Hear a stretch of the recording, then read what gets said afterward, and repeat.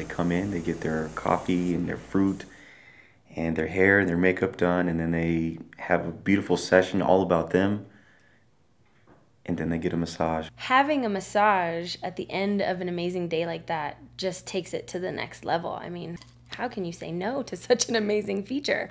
I just hired my first female therapist, and she'll be starting in January, um, which also gives the boudoir clients um, an opportunity to choose male or female, um, whichever they're more comfortable with. I actually tell people about Jason all the time. I tell people that I have an amazing therapist. He's just really friendly and um, personable. Being able to relax after that and just let go completely and feel completely relaxed when you leave is amazing. This is my dream. This is my passion.